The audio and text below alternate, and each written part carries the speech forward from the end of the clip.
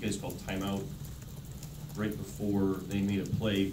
Why, what was the reasoning to, to call timeout there as opposed to maybe holding it? I don't, what, just wanted to get your take on that. Yeah, um,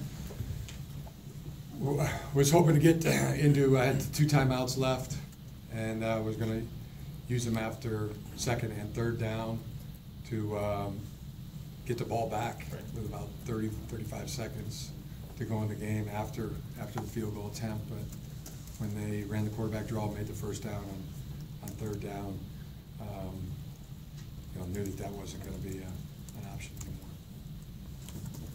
That was, that was the intent, we're trying to get the ball back for last, last drive. Coach, over here on the left, Larry. Um, For the seniors, it'll be their last home game. Can you just Mhm. reflect on what this class has meant to be in this program and, and what that's like playing your last game at uh, Michigan Stadium? Yeah, it's, uh, it's, it's different. Um, Remember, uh, remember it pretty well.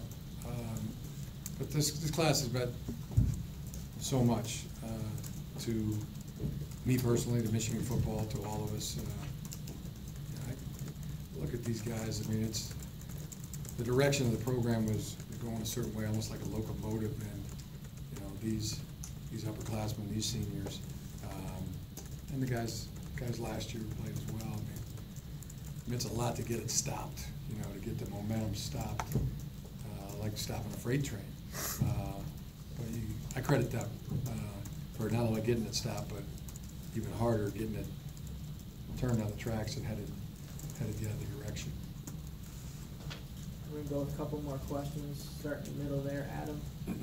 Going back to what you were saying about Indiana's defense, would you say they have more variations on their two deep and single high coverages than what you saw from the defense last year? Oh, from last year? Uh, yes. Yes, I think so. It's a lot. This is as much as, as much as you're gonna see in college football. Up here to Wojo, right? Jim, when you haven't lost all year and then you lose a game, tight game like this, do you have to do any uplifting of your team, rebuilding, and then let them know it's not over, not that bad? Does any of that have to go on at this stage? Uh, yeah, we have to, you you have to soldier up.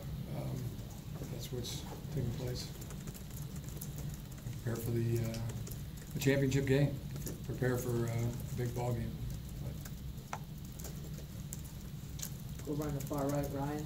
Hey, Coach, going back to being the last home game, can you reflect on your senior class and what they have done for this program? I know they've got some more games, but this is their final home game. What they've done in your program, turning things around, and, just everything in the last two years, uh, the culmination, you're playing the last game at home.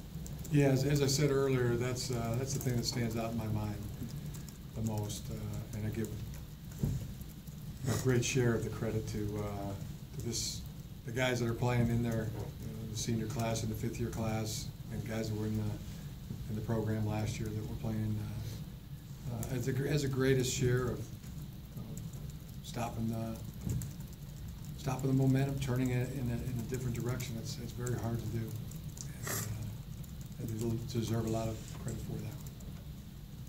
All right, last question in the front there, How much discussion do you have with the players or the team as a whole about the rankings, and kind of your scenarios in terms of the Big Ten and, and the wider view after the loss? Um, the same, I mean, it takes very little time to see, you know what, you know what they are, and, uh, um, you know, onward to, You know what they are, but do you tell them and? I think they know, I think if you probably asked them, most of them would know. It's accessible. So not, to answer your question, not a, not a deep, Nothing long conversation necessary, no. Thanks, Coach. Okay, thanks.